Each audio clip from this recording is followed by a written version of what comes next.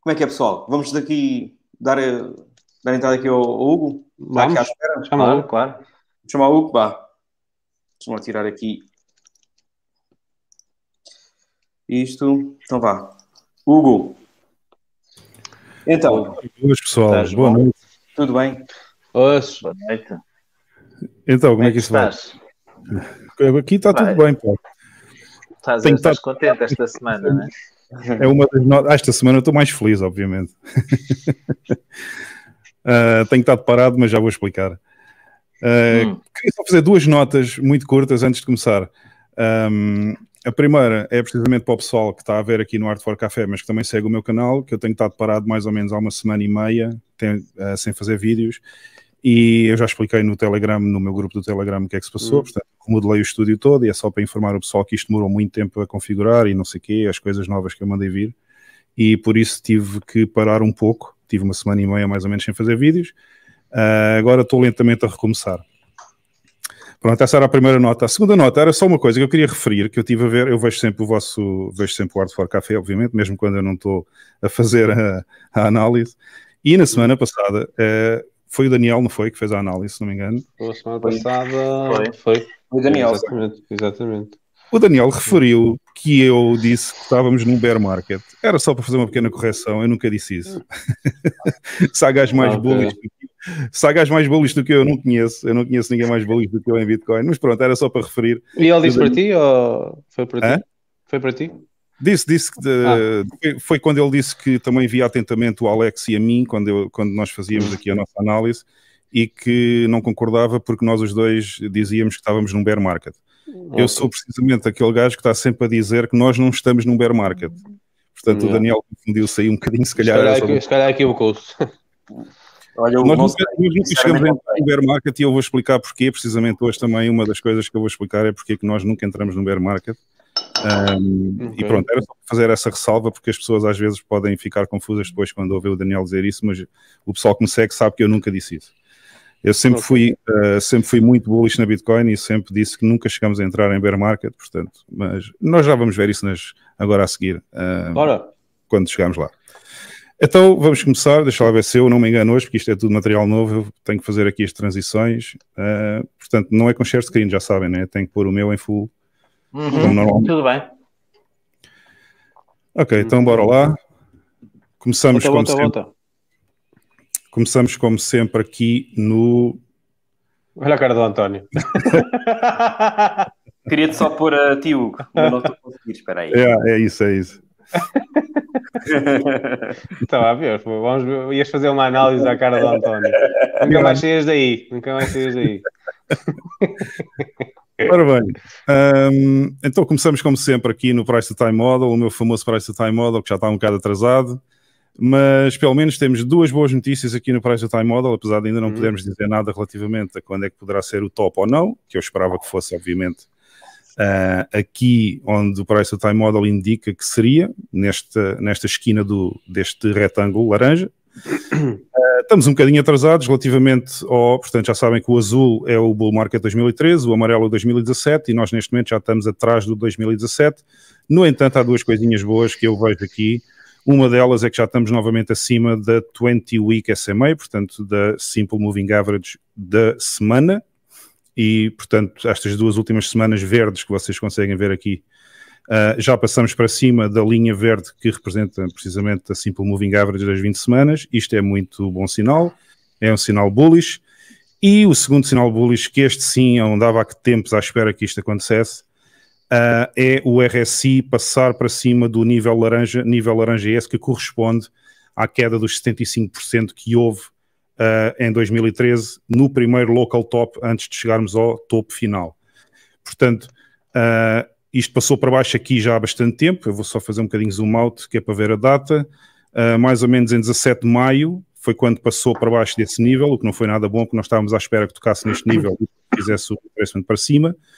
Uh, isso não aconteceu, mas finalmente, finalmente já temos aqui sinais positivos também no RSI de que poderemos estar perante um mercado bullish parecido ao 2013, em que temos um top intermédio e depois no final temos um top final então mais da forma que mais estamos habituados, que é aquela forma vulcão, uh, que é o blow-off uh, top, um, obviamente. Portanto, no Price to Time Model, basicamente são estes dois sinais positivos que nós temos tido, estas últimas. Isto não corresponde na realidade a duas semanas, porque esta vela verde uh, que vocês veem aqui uh, não é a que estamos neste momento, mas a vela verde anterior. Estas velas, cada uma daquelas corresponde a uma semana, porque isto, o Price to Time Model é semanal. Uh, na realidade, isto só aconteceu no domingo, praticamente antes de fechar a semana, foi quando a vela passou a verde portanto não corresponde a duas semanas de bullishness, digamos assim, mas já temos basicamente uma semana inteira sempre a subir. E isso é uma coisa muito interessante, também vou mostrar já de seguida. Uh, portanto, relativamente ao Price Time Model, estes dois sinais positivos ficam, não há nada mais a dizer, além de que estamos um bocadinho atrasados relativamente à data em que possivelmente poderíamos ter um top, que seria por volta de meados de outubro ou no máximo em novembro, mas provavelmente eh, não será tão fácil atingirmos essas datas agora. Agora, passando para o gráfico então do, M, do MRI, que é o gráfico que tem o Tom de Mark Indicator, basicamente é aquele de 1 to 9 candle, tanto para cima como para baixo. Eu queria só referir que no mensal, uh, se vocês se lembram, um dos últimos vídeos que eu fiz, uh, acho que também falei nisso aqui na última vez que estive no Art for Café, esta vela verde, que está aqui, que corresponde ao mês atual, portanto ao mês de julho, uh, esta vela verde estava basicamente a este nível, mais ou menos, e tinha o tamanho do corpo da vela, era mais ou menos metade da vela anterior.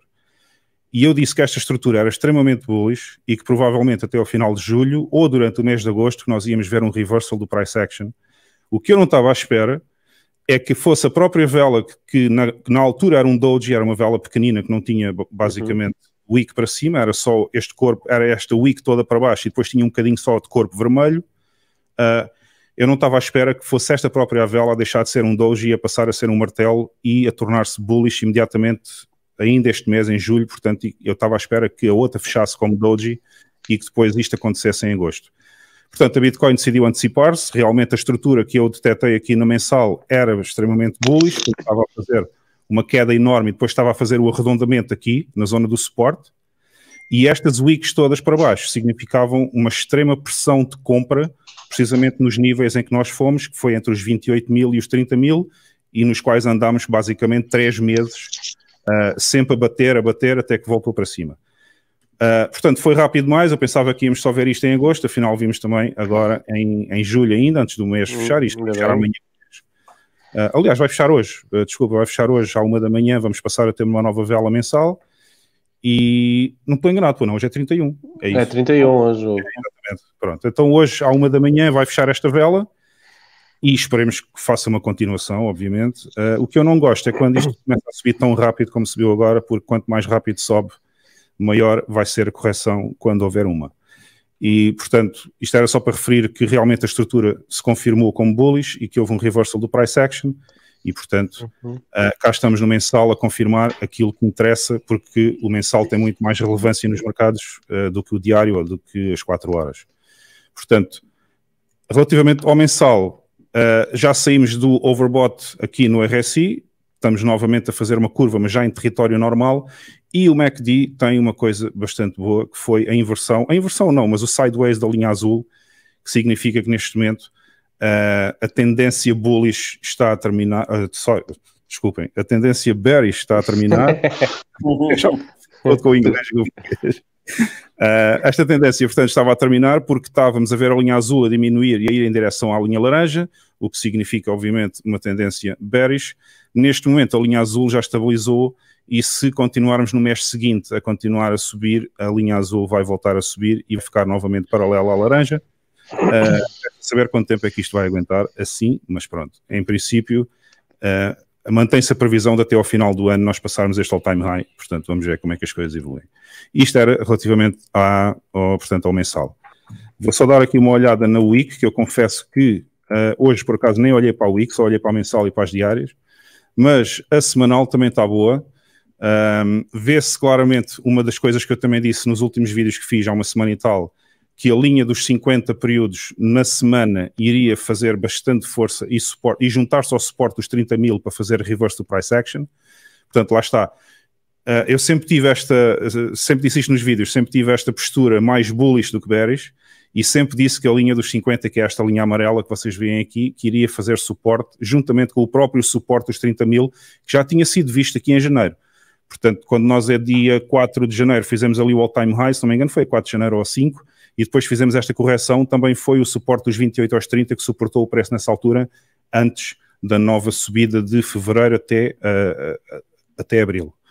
Uh, aqui verificou-se a mesma coisa e há uma coisa muito, muito boa, que é o facto de termos invertido a contagem. Não houve um MRI bottom, o que eu teria gostado bastante na semanal, que era que a contagem do vermelho tivesse chegado a 1,9 e tivesse feito um MRI bottom. Não fez, mas, no entanto, a passagem desta vela para cima destas três anteriores fez com que a contagem revertesse e passamos a estar no 1 verde e nós agora estamos na semana do 2 verde. O que significa que temos potencial para mais sete semanas de subida, se o indicador, obviamente, uh, se, se confirmar que o indicador dá as previsões mais ou menos corretas, uh, que é o 1 to 9 candles, portanto, se houver uma reversão, em princípio teremos nove velas de subida, mesmo que essas velas sejam pequenas ou grandes, não interessa. O que interessa é que poderemos ter várias semanas aqui de upside. Portanto, na semanal estamos bastante bem, Uh, foi muito bom uh, os 50, uh, a SMA dos 50 períodos na semana ter aguentado o preço juntamente com o suporte e o RSI passou de, de uma imensa quantidade de semanas em que teve neutro, basicamente a ir sideways, portanto sem fazer nada, para novamente já termos uma inversão no RSI e já temos o RSI a subir. Portanto, estas duas últimas semanas, especialmente o fecho da semana passada foi fantástico, porque no domingo no domingo ainda estávamos com velas vermelhas na vela da semana e, e, no próprio domingo houve uma subida tão grande que a vela passou a verde e fez uh, o RSI começar logo a apontar para cima uh, já no início desta semana que ainda está.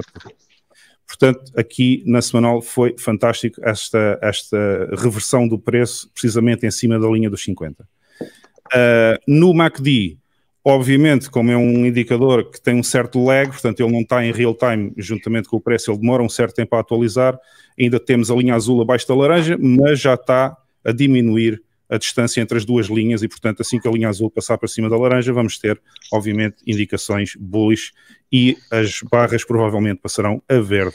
O que significa se isto continuar assim por mais uma semana ou duas, o MACD vai ficar bullish novamente na semanal. Portanto, relativamente à semanal, é isto também que eu tenho a dizer, não há muito mais. Vamos só verificar o dia e no dia há aqui uma curiosidade que é importante referir.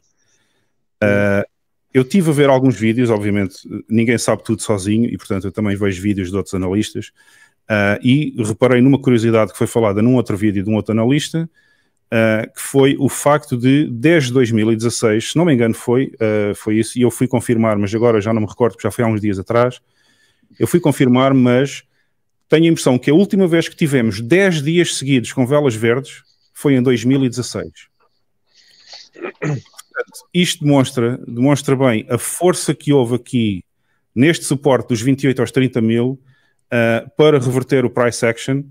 Uh, mostra bem que desde 2016 a força foi tal que desde 2016 que nós não tínhamos 10 velas consecutivas em verde. E, portanto, isto é uma curiosidade muito interessante. Eu fui ver, realmente é, é verdade. Já não me recordo exatamente em que altura, 2016, é que isso aconteceu. Mas desde 2016, portanto, já, está, já vai fazer quase 5 anos, se não me engano uh, que não tínhamos 10 velas diárias no verde. Isto é muito interessante, obviamente, quanto mais velas verdes seguidas nós temos, mais depressa há de haver uma correção, e muito provavelmente essa correção chegou agora e já vamos perceber uh, quando eu mostrar o meu, o meu uh, outlook global da Bitcoin desde o início até ao fim, que é um gráfico que eu mostro sempre no fim, uh, e vamos perceber porque é que neste momento já estamos em já estamos numa zona em que poderá haver aqui uma correção. Portanto, no diário, tudo ótimo. Temos as, temos as, uh, temos as moving averages, neste momento já se estão a alinhar para voltar à posição normal, que é a verde em cima, a amarela a seguir, depois a vermelha e a roxa.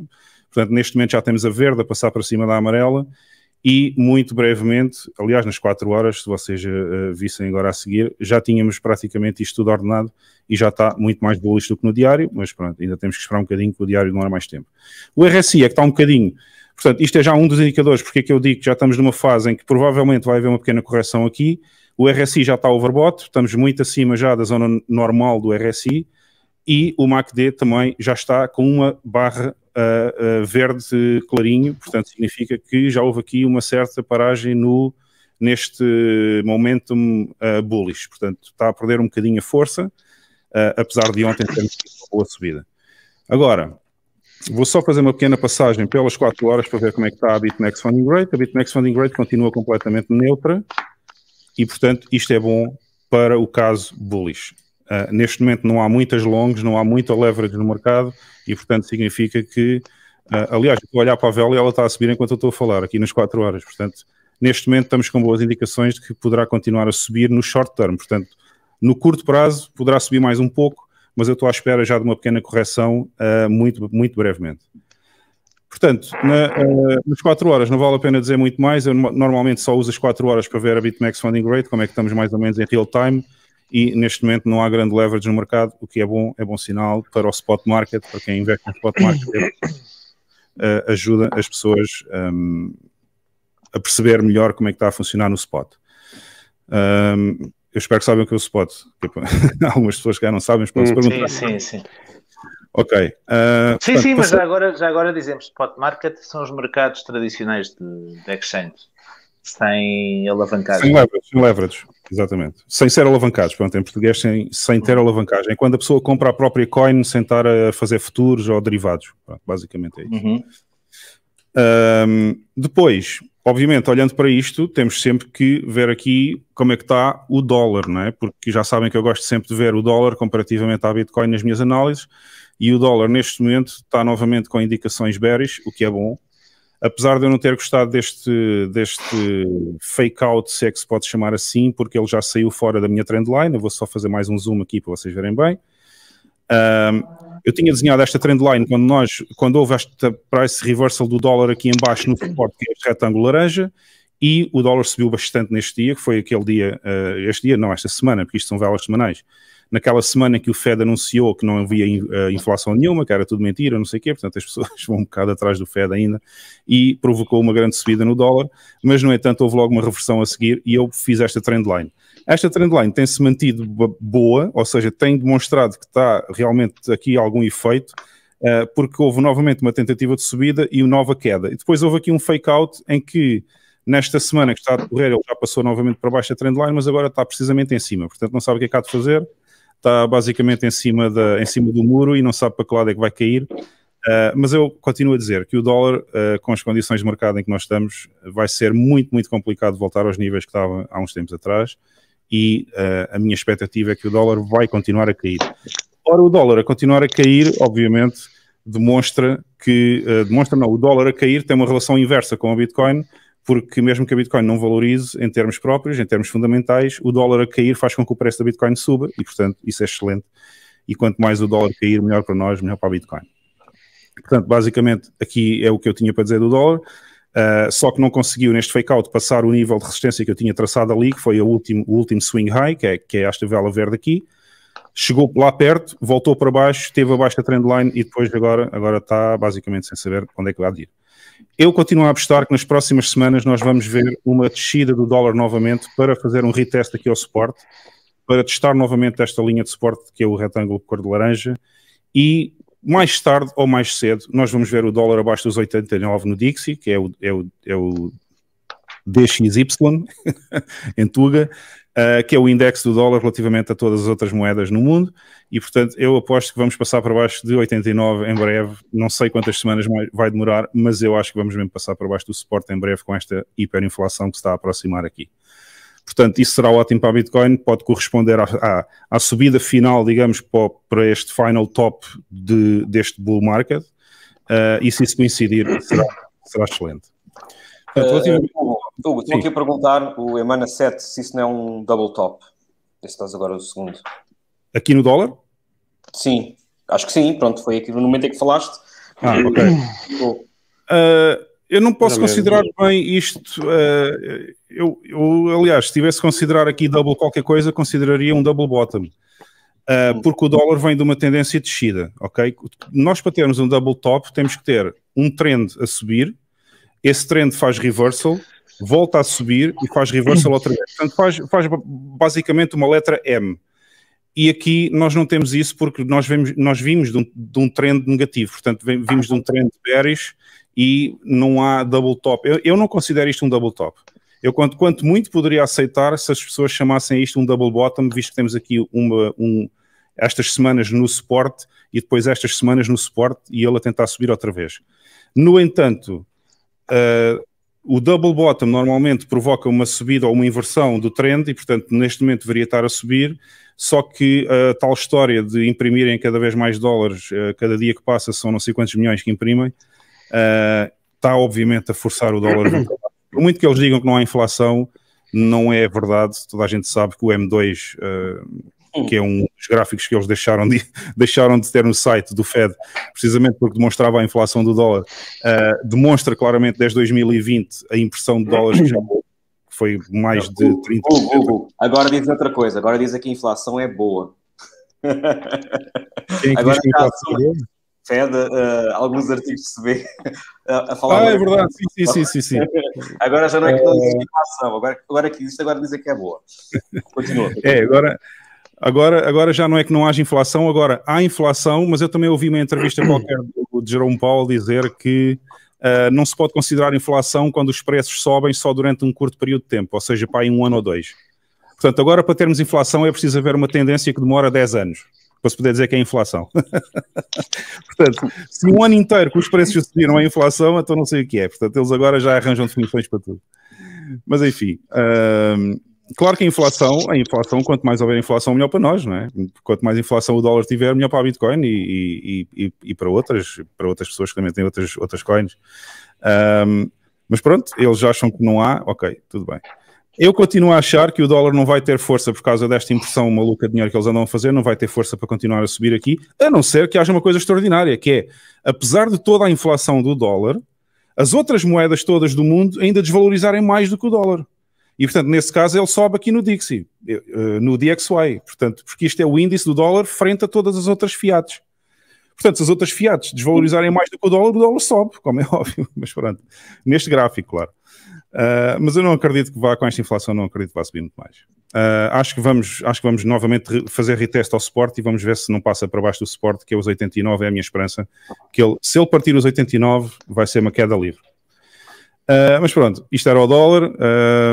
E agora vou só ver como é que está aqui o ouro, porque eu também gosto de ver o ouro, porque o ouro é uma inversão, não uh, ou melhor, não é uma relação inversa, é uma relação direta, porque as pessoas também usam muito o ouro para fazer, para fazer hedge contra a inflação, e portanto, se a Bitcoin, o pessoal compra Bitcoin com a intenção de fazer hedge contra a inflação, também compram ouro, principalmente os mercados mais tradicionais de pessoal que ainda não investe em Bitcoin. O ouro, neste momento, eu continuo a dizer, isto foi o ponto mais baixo do ano. Eu continuo a acreditar que este ponto aqui, esta vela vermelha, que foi mais ou menos o dia 1 de março, foi na semana do 1 de março, foi o ponto mais baixo deste ano para o ouro.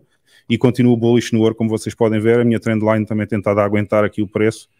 E, e, acho que vai continuar a subir assim que, assim que passar esta resistência novamente aqui das 50 semanas a linha amarela. Uh, o S&P, para quem gosta de investir em mercados tradicionais, um, eu tenho aqui um aviso. Eu tenho um aviso que este, este wedge que está aqui já está, já está muito, muito, muito estendido e muito apertadinho. Ou seja, e curiosamente, o MRI também me está a dar aqui uma, uma seta laranja, que vocês estão a ver aqui, em que isto já é o 8 do 9. Ou seja, já estamos na contagem 8 semanas de 9, em que o 9 será o MRI top e, portanto, indicação de reversal no price action. Quem gosta de investir no, no S&P 500, uh, fica aqui a nota, muito importante, tomem atenção ao que vai acontecer aqui, porque já estamos a sair fora do edge, isto já está overextended demais e, portanto, pode haver aqui uma correção grande no S&P 500, ok? Portanto, esta semana vai fechar muito provavelmente no vermelho, porque vai ser já amanhã o fecho, e a próxima semana vai ser um MRI top e, portanto, durante essa semana é provável que, se não for essa semana, ou seja, na semana a seguir, que haja aqui uma inversão uh, do price action no S&P. Isto também é importante, eu gosto de ver o S&P porque o S&P também costuma estar relacionado diretamente com o Bitcoin e muitas vezes quando o S&P cai, a Bitcoin também cai e, portanto, um, é bom estar atento ao S&P, especialmente para aqueles que investem em ações também. Agora, Uh, Vou-vos mostrar então a última, a última, o último gráfico que tinha para vos mostrar hoje e este gráfico. E aqui está a prova final que eu nunca disse que nós estamos num bear market. Uh, a linha verde que vocês estão a ver aqui. Bom, antes disso, vamos só à linha branca, que é a segunda fase, o que eu chamo a segunda fase deste bull market, que foi depois desta subida ou deste distanciamento da linha verde, aqui mais ou menos em outubro do ano passado. Nós passamos para baixo desta linha branca, mas temos uma formação wedge aqui, uh, que eu já tenho vindo a seguir há bastante tempo, mas por acaso é a primeira vez que estou a falar nela uh, em vídeo ou stream, é com vocês. Nunca tinha mostrado este wedge e este wedge estava-se a formar e estava a haver um price squeeze aqui, um price action squeeze uh, que eu vi no outro gráfico do Pro Indicators e eu já sabia que isto mais dia, menos dia que ia arrebentar este wedge para cima e porquê que eu digo que agora estamos numa fase em que eu estou à espera de uma correção? Porque a subida parou precisamente no trendline que vínhamos da segunda fase do bull market. Eu vou fazer aqui um zoom para vocês. O que é que está a acontecer? Nós tivemos a subir durante 10 dias e assim que chegamos à trendline que estava a aguentar o preço anteriormente, encontramos uma resistência. Não só a resistência dos 40, 40 aos 42 mil, como também a própria resistência da trendline que vínhamos a seguir e que tinha vindo a suportar o preço desde outubro do ano passado. Portanto, neste momento, em virtude de já termos 10 velas diárias verdes e de já termos feito esta subida estrondosa em apenas 10 dias, subimos basicamente uma média de mil dólares por dia, uh, eu penso que o preço aqui vai fazer uma pequena paragem e é capaz de haver um pequeno retracement. E às vezes há, há pessoas que me têm feito a pergunta, depois destes 10 mil dólares que a Bitcoin subiu, até aos 40 e pouco mil, uh, quando é que é boa altura para comprar Bitcoin? E eu respondo, olha, se estás a pensar uh, manter a Bitcoin durante 5 ou 10 anos, a melhor altura foi ontem. Agora, se estás a pensar fazer mais numa perspectiva de trading e não de hodl, neste momento eu posso dizer que não é não é que seja um bom, um bom momento para comprar ou não, neste momento não é bom para comprar, porque estamos precisamente nesta resistência e eu estou à espera que haja aqui um pequeno retracement agora. Portanto, é possível que haja uh, o one to four candle correction, que é uma das regras do MRI, é quando faz inversão de preço, pode ser apenas durante quatro velas, independentemente de qual é, uh, se estamos a ver na semanal, no diário, nas quatro horas, não interessa.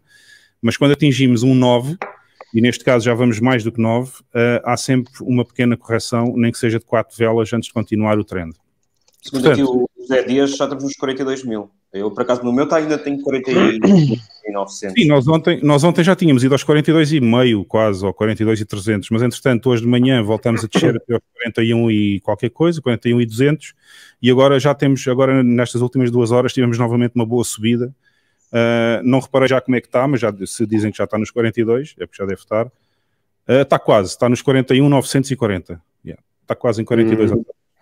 Mas vocês estão a ver que há aqui uma certa resistência, não só por causa da, da tal linha, portanto, vocês virem aqui a linha do preço, que é esta linha vermelha, veem que esta linha já foi suporte, foi resistência aqui, foi resistência aqui, e depois aqui foi suporte, e aqui foi novamente suporte antes daquela grande queda que tivemos. Portanto, esta linha onde nós estamos agora, que é mais ou menos uma área que vai dos 40 aos 42, mais ou menos, é sempre uhum. uma grande resistência devido ao que já aconteceu no passado, vai ser sempre uma grande resistência, e pior ainda, temos a trendline que estava a suportar o preço na segunda fase do bull, que também está precisamente na mesma fase agora em que o preço subiu até lá. Portanto, temos aqui a conjugação de dois fatores, a, portanto, a resistência dos 40 aos 42 e a trendline, que normalmente uma trendline, depois de ser quebrada, não é a primeira que se passa para cima. Portanto, ela vai ser retestada várias vezes até que a price action consiga subir. Portanto, eu neste momento espero aqui um pequeno retracement até que se consiga quebrar a trendline e a resistência dos 42. A partir desse momento, é novamente uh, até, posso-vos dizer já onde é que é a próxima resistência, vai ser aos 47, 48. Uh, quando lá chegarmos, obviamente.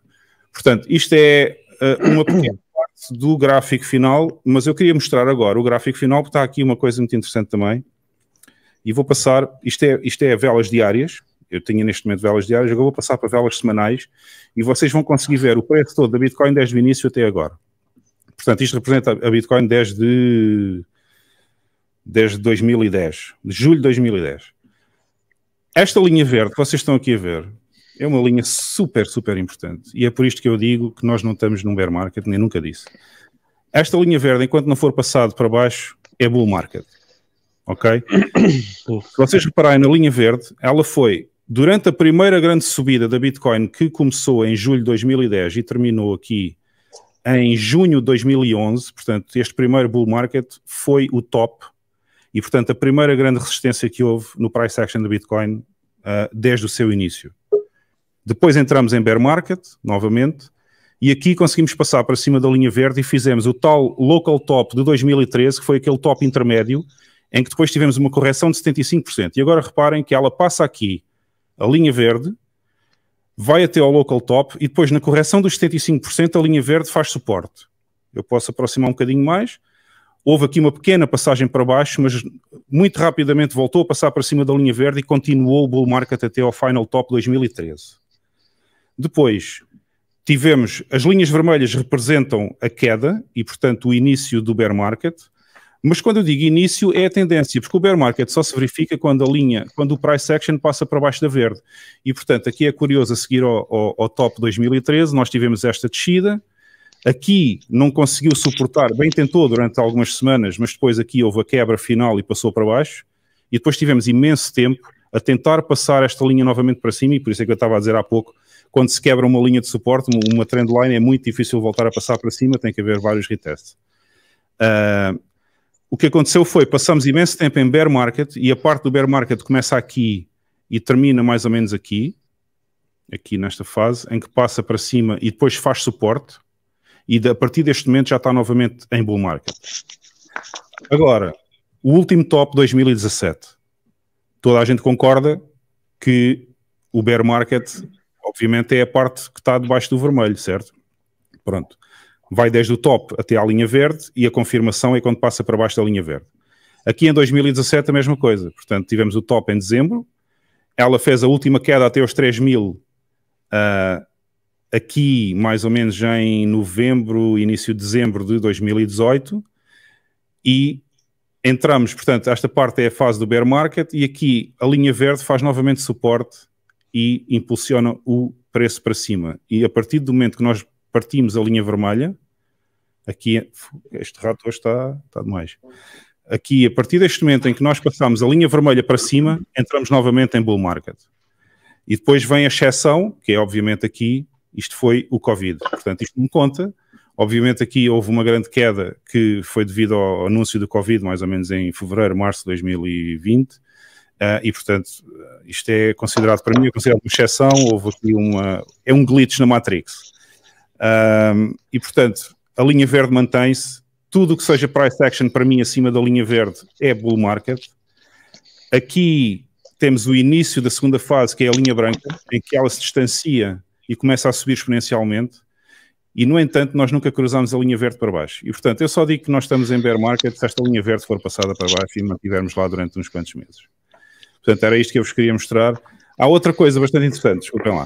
Uh, aqui no MACD semanal, vocês reparem que o MACD semanal tem ido sempre acima com os picos. Este pico foi estrondoso, obviamente, porque fizemos 60 e tal mil dólares. Uh, neste momento, depois desta queda toda e desta acumulação do ICOF Distribution e o ICOF Accumulation, nós já temos novamente o MACD a fazer a inversão e, portanto, o que é que se segue? É essa é a pergunta que vocês devem fazer agora. Quando o MACD faz esta inversão e depois destas velas todas vermelhas, o que é que acontece a seguir? Continuação do bull market. Portanto, neste momento eu não espero, como muita gente dizia, que uhum. fôssemos visitar os 20 mil, eu nunca disse isso, eu disse até várias vezes no Twitter, se vocês estão à espera de comprar mais a 20 mil, vão buscar uma cadeira e fiquem, fiquem confortáveis, porque eu não espero que a Bitcoin vá tão cedo aos 20 mil novamente, a não ser que haja para aí uma desgraça. Uh, mas neste momento eu não estou a ver isto entrar em bear market tão cedo. Uh, vai demorar algum tempo, eu acho que ainda estamos a meio do top, tal como em 2013, uh, portanto, a meio do percurso do tal como em 2013, e que ainda vamos ter um final top aproximadamente no fim deste ano, início do ano que vem. Esta é a minha expectativa, é, a minha, é aquilo que eu penso que vai acontecer, não quer dizer que vá, mas é o que eu penso que vai acontecer. Uh, quebramos sim o second, portanto a segunda trendline, que é esta branca, isso foi quebrado. Vou voltar ao diário só para vocês verem melhor. Agora temos que conseguir passar para cima da trendline outra vez. Se não passarmos, podemos continuar em acumulação, que eu não me importa nada, porque a acumulação na Bitcoin traz sempre coisas boas no fim. Uh, ajuda a suportar o preço, tem uma, tem uma subida mais consistente e é sempre melhor para os mercados. Neste momento, o MACD no diário, vejam o que é que está a acontecer, portanto, uh, estamos novamente em positivo, estamos novamente com as barras verdes e temos novamente a linha azul a subir que nem uma maluca, Portanto, eu não estou à espera que isto vá voltar aos 20 mil tão cedo, a não ser que haja para aí uma desgraça qualquer. Uh, se quiserem fazer algumas perguntas, agora é o momento. Já está alguma pergunta no chat aí do pessoal? É pá, dizeres isso é fogo, não é? Vai agora aparecer umas, umas 50. Mas acho que o pessoal tem estado a seguir e tem estado a gostar. Basicamente isso. Ainda bem. Ainda bem, porque isto agora no verão não tem mais nenhum, pá. Está tudo na rua da amargura. Mas, basicamente... ah, mas ainda bem, ainda bem que a Bitcoin continua no padrão bullish, pá. É bom para a Bitcoin, é bom para chamar a atenção de mais gente também, que é importante. Quanto mais gente juntar-se aqui ao, ao movimento Bitcoin, melhor, mano. Ah, eu esqueci de uma coisa. Se tiver só mais um minutinho, por acaso uhum. esqueci de uma coisa. Só... Deixa-me só voltar aqui. Isto agora, agora é tudo XPTO. Só para eu fazer aqui uma coisa. Onde é que está? Não é preciso mudar aí o full screen. Uh, eu queria só mostrar uma coisa que é interessante. Aqui no, no, no Stock to Flow Ratio do Plan B, eu penso que nós neste momento, eu vou voltar a pôr aqui o screen share. Ok. Uhum. Eu penso que nós neste momento, uh, esta fase que nós estamos aqui a ver, esta descida dos pontos a verde neste momento, a cor não interessa para nada, porque a cor só indica quantos dias estamos uh, distantes ainda do próximo halving. Uhum. Mas esta fase aqui em que nós nos afastamos da linha branca e fizemos este, esta pequena curva para baixo, na minha opinião, corresponde a esta fase de julho de 2017. Ok? Isto é uma especulação minha. Eu estive já a analisar várias vezes o, o Stock to Flow Ratio, eu estive a analisar outras uh, on-chain analysis, outros gráficos de on-chain analysis, e na minha opinião, esta fase aqui é numa escala maior, ou seja, se vocês olharem para um e para o outro, uma parece maior e a outra mais pequena, mas numa escala maior, até porque isto também tem a ver com quanto mais tempo passa, mais difícil será os, os mercados se movimentarem, por causa da liquidez que vai aumentando, e portanto o tempo vai aumentando naquilo que seriam coisas que em 2017 seriam mais rápidas, agora neste momento já são mais lentas e, portanto, a curva é mais extensa. Mas se vocês repararem, isto corresponde, na minha opinião, a isto que está aqui. A esta fase, a esta descida enorme que nós tivemos em 2017 antes de chegarmos ao top.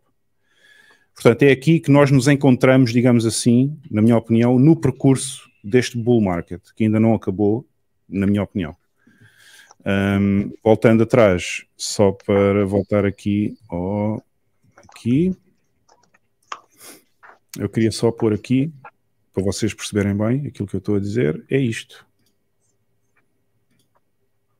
Mas tem que ir para a semanal. Sim. Portanto, isto é o que eu acho que nós estamos a vivenciar, aquilo que eu acabei de referir com o indicador, com o, sorry, com o stock to flow ratio do Plan B, é que este círculo amarelo no ciclo de 2017 corresponde ao que nós estamos neste momento a fazer no ciclo de 2021. ok, assim, não sei porque é que mexi naquilo, mas pronto. Isto é o que nós, na minha opinião, esta queda aqui, esta vela enorme vermelha, corresponde a esta queda que nós tivemos aqui. Pronto.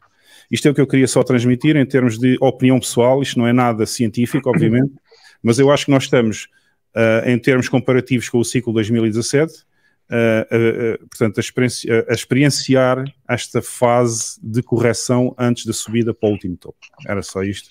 Só faltava uhum. isto para terminar aquilo que eu queria dizer hoje.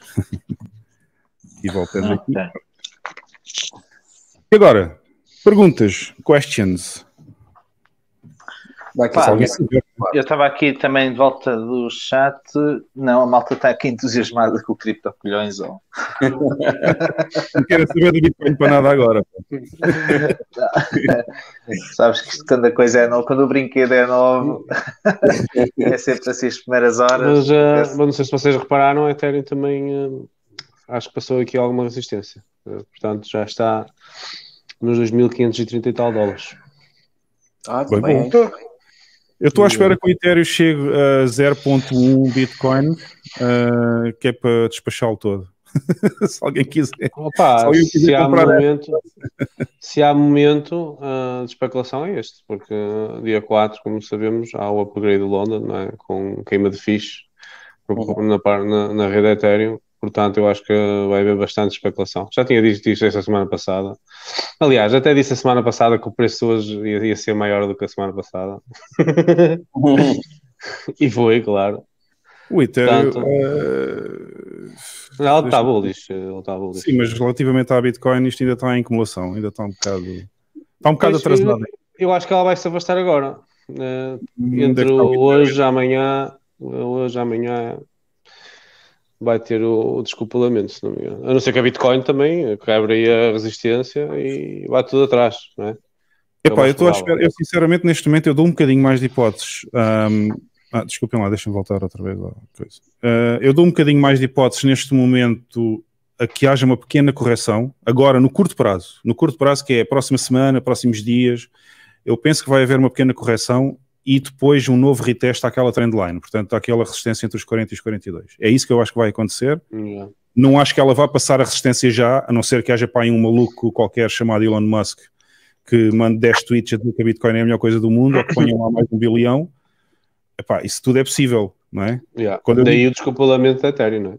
Pronto, exato. E, e, mas é assim, o Ethereum sempre teve um bocadinho de lag relativamente a copiar yeah. o que a Bitcoin faz. Portanto, a Bitcoin sobe e depois o, o Ethereum só vai atrás passado algum tempo. Uhum. Portanto, o Ethereum continua a subir enquanto a Bitcoin continua a subir. Basicamente é, é isso. É o que vai acontecer agora. Mas pronto, Hugo, obrigado, uhum. mano. É isso. Obrigado, temos um convidado também à espera. Okay. E temos também compromissos. Uh, pá, foi mais uma grande análise. Ah. Eu também gosto muito, também gosto muito das tuas análises. Eu gosto dos três, como toda a gente sabe.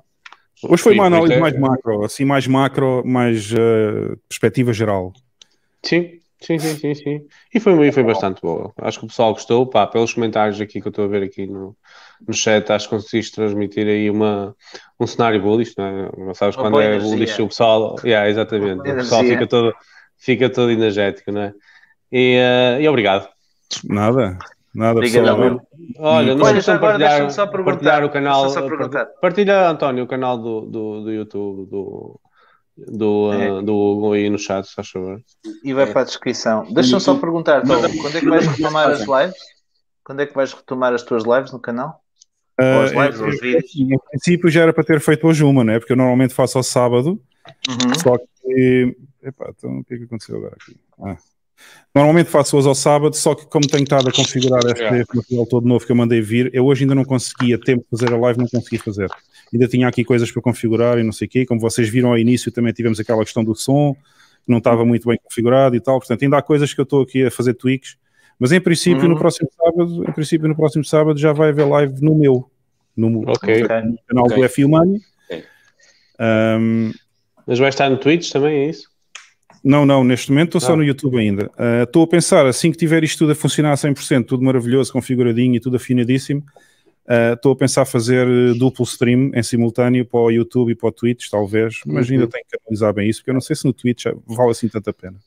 É, não sei, pá, o, o user base é enorme. Né? Pois, uh? pá, o user base. User base. Ah, user base. É possível.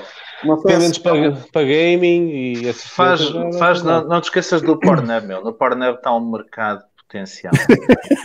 não, não se esqueça. Esse está, esse está há anos e anos a subir, esse nunca teve berries. e no, e no, e no, no OnlyFans, ou como é que aquilo se chama? é pá, esse não conheço, esse não conheço. Pai, é aquele, OnlyFans? É... Vai haver um OnlyFans masculino de cripto. Um, se um, um OnlyFans, já vai criar um. Um OnlyFans. Masculino de cripto, yeah. para nós. Nós a, nós a tradar e a fazer farming, nus e isso, essas merdas. Vai ser top, pessoal. Nossa nude phones. Vai ser muito fixe. Não, este café é, das velhas está cada vez pior. Hugo, antes de sair, depois deixa só no, no, no private chat o teu, o teu link de, do. Já YouTube. está, já estou a pôr aí, já estou a spamar no canal. Ah, ok. Também, por acaso já vi eles a perguntarem onde é que, qual é o canal. Yeah. Já está aí, já está aí, pessoal. Então já está aqui, eu... está despachado. Eu sei que existe um link mais bonito, mas eu vou aqui pelo YouTube, copio, partilho. Yeah. Eu sei que existe um link mais bonito. Eu também posso pôr lá. Ah, vocês não me deixam pôr o link, pá. Eu houve um dia que alguém perguntou não. também a meio, de uma, a meio de uma live, só que eu não consegui pôr o link, vocês devem estar a bloquear os links, não é? É, epá, eu acho que só mesmo os admins é que conseguem colocar links, mas isso é Exato. by default. Nós nem conseguimos yeah. mexer ah, nisso. Ok, ok. É, é. Yeah. Mas okay. pronto, é assim, a, a, análise que eu faço em português é só aqui no Hardcore Café. Já sabem que no meu canal levam com inglês à força toda. Mas pronto, se vocês não se importarem com isso, está tudo bem. Ah, vamos lá, vamos lá, vamos lá, que o, temos o Iba à espera. Então, okay, pessoal, olha, bom fim de semana para ti e um grande abraço. Igualmente, ah, um grande abraço para vocês e obrigado novamente. Tchau, tchau. Ok, fica bem.